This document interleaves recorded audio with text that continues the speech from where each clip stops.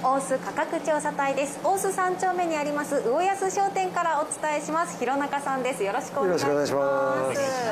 まず弘中さん、はい、あの今というのは金目鯛とかあとのどぐろなどのいわゆる高級魚がちょっと高値にそうですねあの水揚げも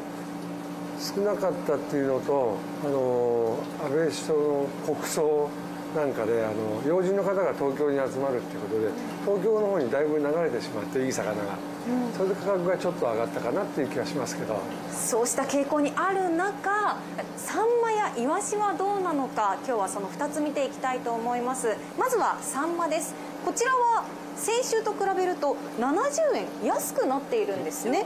そうですね水揚げがさほど多く変わってはいないと思うんですけどもあの今日は結構お値打ちに変えたんで、うん、どうして安くなったんでしょう？あのやっぱりあの水揚げが多くないけどもまあ人気もなかったっていうのもあると思うしはい。あと宮城の方でも水揚げがあったんですね。昨日初めて上がってその兼ね合いもあって下がったかなという気がしますね、うん、だいぶ日本近海に近づいてきているそうです。この先ちょっとまた下がってきそうなんですよね。そうですね。これ天候さえ良ければね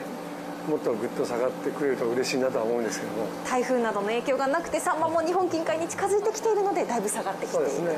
はい。そしてイワシについても見ていきましょう。こちらは先週と比べると20円高くなっているそうですね。そうですね。あの台風の影響もあって金の入荷がなかったものですから、うん若干上がったかなって気がします。あサンマの方は台風の影響はもうだいぶないんですがイワシはちょこっとまだ受けたということなんですね、ねはい、まあ、100g っていうと大体2本ぐらいだ